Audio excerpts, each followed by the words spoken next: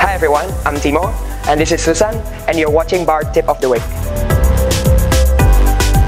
The exercise that we're gonna do today is roll out using two gliding discs.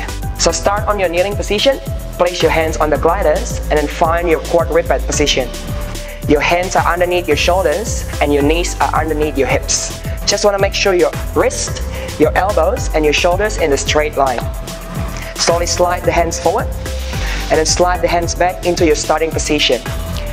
Keeping your eye gaze down when you come forward and then really brace through the core when you slide back.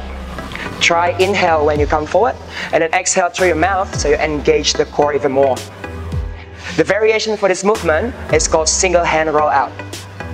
This one is more challenging for the core because you need to stabilize your trunk.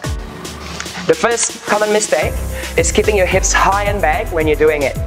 So try drive your hips forward and then really brace your core when you're doing it. The second common mistake is not keeping your eye gaze down to the floor.